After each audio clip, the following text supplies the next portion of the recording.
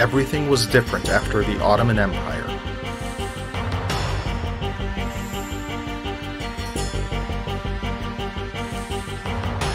A Turkish journalist visits Jerusalem in 1972. Someone there, who was standing still with their solemnity, weapon, and their outfit, draws his attention. The year is 1917.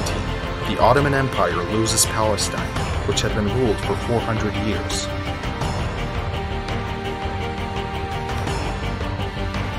Protect the safety and the peace of the people living there, the defeated army leaves a force behind before stepping back.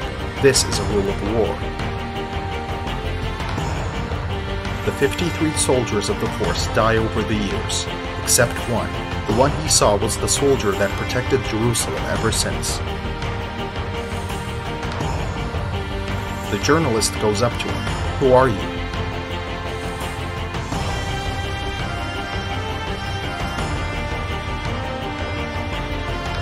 I am Corporal Hasan, 20th Army Corps, 36th Battalion, 8th Troop, 11th Heavy Machine Gun Team Commander, who had been left here that day.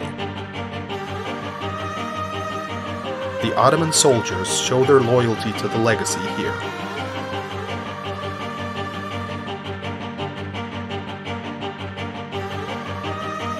Nothing seems to be the same ever since the Ottoman withdrawal, and that soldier never left his duty up until 1982 when he passed away.